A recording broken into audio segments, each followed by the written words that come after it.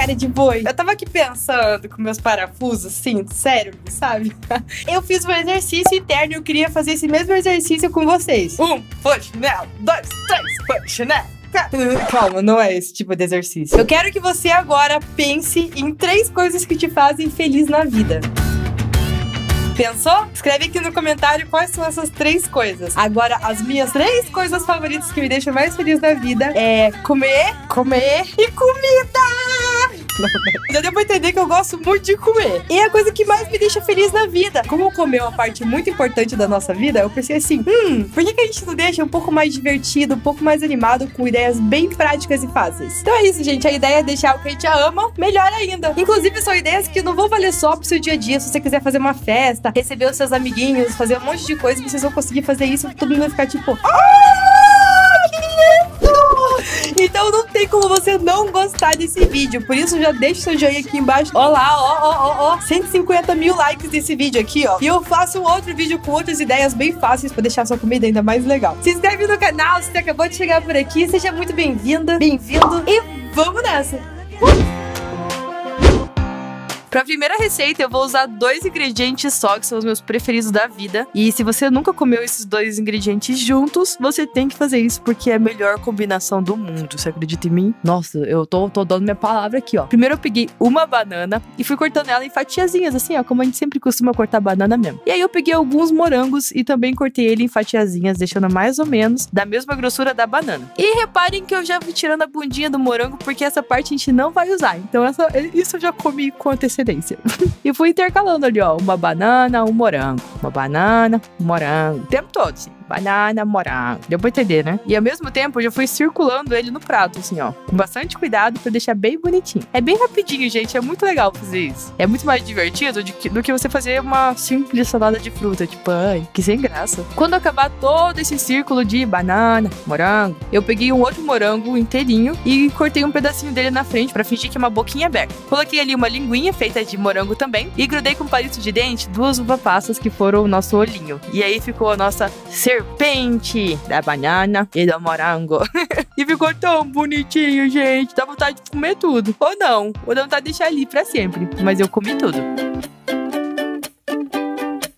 You said let's jump on the bus and take a ride downtown. A primeira coisa que eu fiz para essa receita é colocar as salsichas, aqui em Curitiba a gente chama de vina, para cozinhar. Deixei ela ali na água fervendo. Enquanto isso, eu peguei algumas fatias de queijo, queijo normal, mas você pega o queijo que você quiser, e comecei a fazer um desenho nele. Foi tipo assim, é como se fosse uma gota, só que ela não termina tão em ponta. Dá uma olhada aí que eu não sei explicar direito. É como se fosse uma orelha de, de cachorrinho. Qual que é o cachorrinho que tem orelhão? Salsicha. O cachorrinho salsicha. Então eu cortei várias orelhinhas, pensando que cada cachorrinho que eu for fazer tem que ter duas orelhas, né? Isso é meio padrão. Então eu pensei assim: vou fazer três cachorrinhos, então tem que ter seis orelhinhas. E com o restante de queijo que sobrou, eu peguei esse meu medidor aí, você pode pegar qualquer coisa, uma tampinha, e eu fui fazendo bolinhas. Eu fiz também seis bolinhas. Peguei ali o meu pão para hambúrguer. É, não é pão para cachorro quente, não, é pão para hambúrguer. Abri ele, passei requeijão dentro. Você pode passar maionese se você quiser, ou o que você quiser, mas eu não tinha maionese, por isso eu coloquei requeijão. Como vocês podem ver, eu não cortei o pão de hambúrguer até o final, eu deixei ele lá e botei a vina lá dentro, a salsicha, no caso. Botei as bolinhas de queijo também e botei duas rodelinhas também de azeitona preta. Eu usei uma azeitona só, eu cortei ela em três partes. As partes que ficaram oco eu coloquei no olho e a parte da bundinha da azeitona eu botei como focinho. E ficaram cachorrinhos, olha que coisa mais linda. Olha, eles estão comendo o oxinho. Tão bonitinho, gente. Esse é fofinho. Esse não deu muita vontade de comer, porque é muito lindo. Dá vontade de colocar num quadro e guardar pra todo sempre. Imagina você fazendo uma festa de aniversário e recebendo as pessoas com cachorrinhos.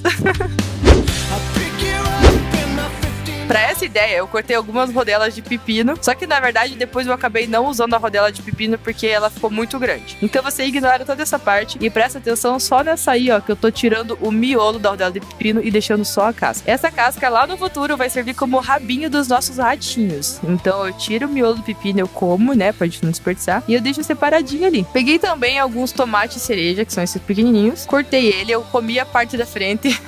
Nossa, a gente faz a receita, vai comendo tudo, né? E deixei a bundinha caldinho do tomate ali pra gente usar depois. E aí eu peguei esse pãozinho, que eu não sei como é que chama na cidade de vocês, mas aqui ele é... Eu também não sei como é que chama aqui. Então primeiro eu fiz um corte na frente e depois eu fiz um quadradinho e tirei esse miolinho. No corte da frente eu coloquei duas rodelinhas de cenoura pra ser as orelhinhas, que eu ia usar o pepino no caso, mas o pepino era quase do tamanho do pão, então não deu certo. Dentro ali do quadradinho eu coloquei um pouco de patê, desses prontos. Coloquei queijo ralado também. Aí espetei um tomate, a pontinha do meu tomate, e fiz uma bolinha ali na frente, duas bolinhas. E coloquei duas pimentinhas. Se você não gostar de pimenta, você tira a pimenta na hora de comer. E tira o palito também.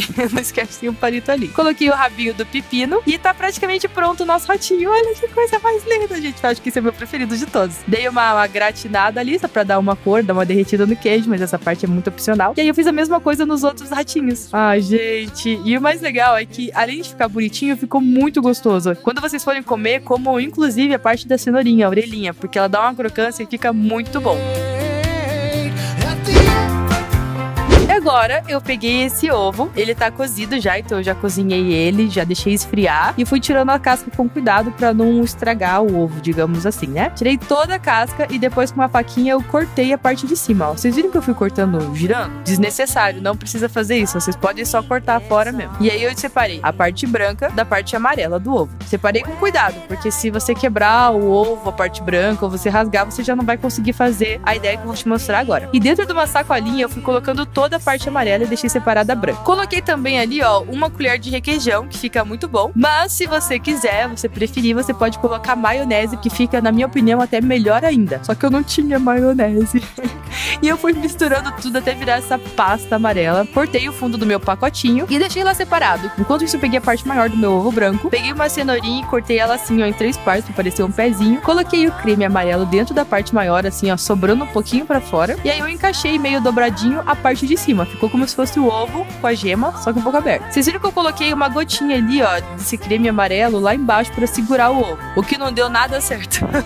Porque ele começou a deslizar e começou a cair tudo. E na hora eu fiquei tipo, oh meu Deus, o que, eu vou fazer? E eu não parei para pensar que eu poderia, tipo, cortar um pedacinho do ovo lá embaixo, a bundinha dele, pra ele não ficar redondo e ele ia parar certinho, em vez de tentar grudar ele com creme. Então vocês podem tirar uma, uma partezinha, deixar ele reto que ele vai parar. Coloquei ali uma cenourinha para seu biquinho, duas bolinhas de pimentinha dessas pretinhas. E pronto, você tem um, um peitinho saindo do ovo. Tão bonitinho, gente. Quem não quer tomar um café da manhã com isso? Né, gracinha?